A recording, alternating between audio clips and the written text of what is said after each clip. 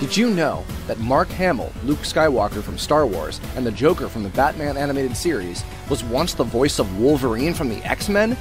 In the video game tie in to Bryan Singer's X2 film called Wolverine's Revenge, released in 2003, Mark voiced a CG representation of the live action Wolverine famously portrayed by Hugh Jackman. In fact, his face was even on the cover of the game, despite not being involved. Funnily enough, though, this Wolverine played by Hamill even got to interact with Professor X, played by his live action actor, Patrick Stewart, carrying over from the movie. I get the picture. It's gonna be a big help. Your estimates are wrong. Scott and Jean will fly you as far as Edmonton in the Blackbird. A bush pilot will take you the rest of the way. Patrick Stewart has in fact voiced Professor X in both Wolverine's Revenge and X Men the official game, the X Men Legend series, and even X Men Next Dimension, once obtaining the role of Charles Xavier in the live action film series. In fact, a couple of the actors from the films reprised their respective mutants in X Men the official game, such as Shawn Ashmore on Iceman, Alan Cumming on Nightcrawler, and yes, even Hugh Jackman himself as Wolverine. Jackman also played Logan during the tie-in game for X-Men Origins Wolverine, where, ironically, he faced off against a CG representation of Deadpool, with Steve Blum matching for Ryan Reynolds. Steve Blum would of course go on to be the definitive voice of Wolverine for nearly all major video games, animated films, and TV series. He says that rock is special. He says it came from the sky. All right, the bottom line is the Sentinels can now find every mutant left on the planet. So if we don't stop them tonight, we'll be extinct by tomorrow. Long before Steve Blum became the de facto Logan, many older fans might also remember when the badass Canadian anti hero was played by actual Canadian actors.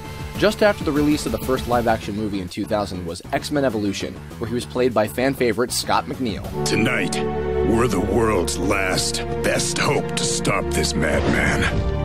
So we're gonna trash those pyramids any way we can. This series featured an all star cast of Vancouver voice actors, from a host of cartoons like Beast Wars and G.I. Joe, and anime like Inuyasha and many of the Gundam series.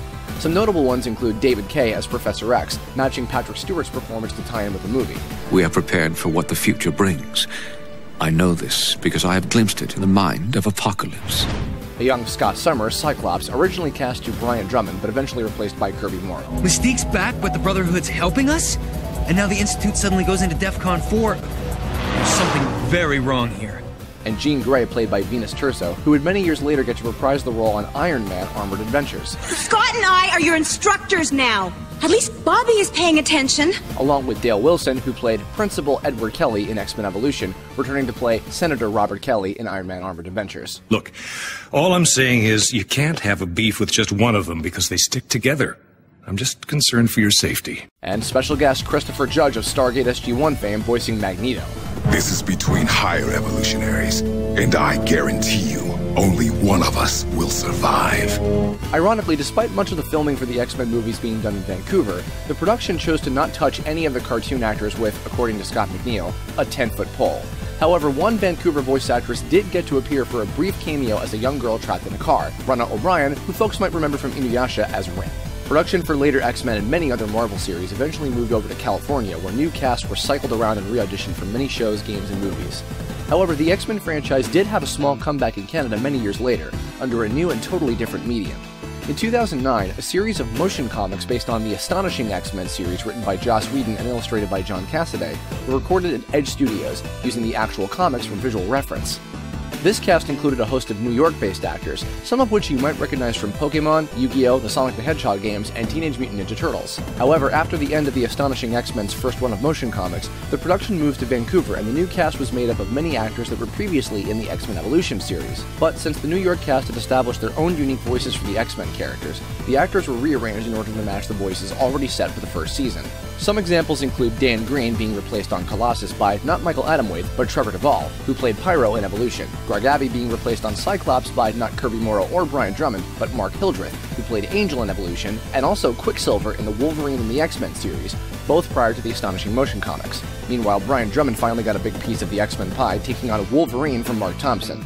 And the most bizarre one, Beast, previously played by Mike Pollock, was replaced not by Michael Kopsa, but Ron Halder, who not only played Mesmero in X Men Evolution, but also prior to the motion comic played both Magneto and Charles Xavier in Iron Man Armored Adventures. The iron in your blood is unique, like a fingerprint. Once I'm close, I can track you like a lion tracks a gazelle. Hello, Miss Claremont. My name is Professor Charles Xavier, and I run a certain institute I believe you've been looking for. Long before all of this, of course, many old school fans fondly remember the original X Men the animated series. This show was recorded in Canada, but rather in Toronto instead of Vancouver. A few of the actors heard in this series also carried over to voice their characters in the popular Marvel video games developed in the 90s by Capcom including Cal Dodd as Wolverine, Tony Daniels as Gambit, Lenore Zann as Rogue, Norm Spencer as Cyclops, Rick Bennett as Juggernaut, Don Francks as Sabretooth, and Len Doncheff as Omega Red. Some other actors from the cast of the X Men series took on other roles, such as George Buza, Beast, taking on Colossus, and Catherine Disher, Jean Grey, taking on Storm and Psylocke. The 90s series was the first full fledged TV show based on the X Men franchise, but before that, there was another animated series that almost materialized, but only a single pilot episode was produced. This potential series, called Pryde of the X Men, named after Kitty Pryde, aka Shadowcat, featured a whole host of even more old school voice actors like Kath Soucie as Shadowcat, Earl Boen as Magneto, Michael Bell as Cyclops, John Stephenson as Professor X, and even Frank Welker as Toad. Hell, the man himself, Stan Lee, even narrated the opening to this pilot episode. Welcome. This is Stan Lee of Marvel Comics warning you to look around you. Your classmates, your friends. You never know which one of them may be a mutant. In the late 80s, Marvel Productions, a film studio subsidiary of Marvel Entertainment, also produced a single season of a Robocop animated series starring Dan Hennessey as the title character, who ironically also voiced the Sentinels in the Capcom produced Marvel games. The budget that would have been used to create the 13th episode of the robot cartoon season was instead used to produce the Pryde of the X Men pilot through Toei Animation, the company responsible for the Dragon Ball and Sailor Moon animated series. However, shortly after this pilot was delivered, Marvel started having financial issues and had to halt many animated series they were producing through SFE Films, and the continuity of Marvel Comics based shows eventually ended. This line of series that went all the way through the 80s included the Fantastic Four, the Incredible Hulk, and three Spider Man series, one of which, Spider Man and His Amazing Friends, featured an appearance by, you guessed it, the X Men, several of which had their very first voices. In this episode, as well as the Pryde of the X Men pilot, Wolverine was played by Neil Ross, who would later go on to play a ton of G.I. Joe and Transformers characters, as well as many other Marvel characters like Fin Fang Foom, Howard Stark, Doctor Doom, Super Skrull, Green Goblin, and Crossfire. Funnily enough, as Wolverine would be played by Australian born actors like Hugh Jackman and Scott McNeil doing a Canadian character, this version of Logan had an Australian accent. Welcome her. Wait, she's not joining the X-Men, is she? She's just a kid. Thanks for watching. This video was inspired by Did You Know Gaming, so go check out their channel and watch all their videos about gaming trivia. Special thanks to Omahdon for the audio mastering, The Legend of Renegade for the music, BehindTheVoiceActors.com for all the audio samples, and Motley Fool for all the insightful comic book info. If you like this video, go check out some of her other ones. And don't forget to like and subscribe if you want more. See you next time.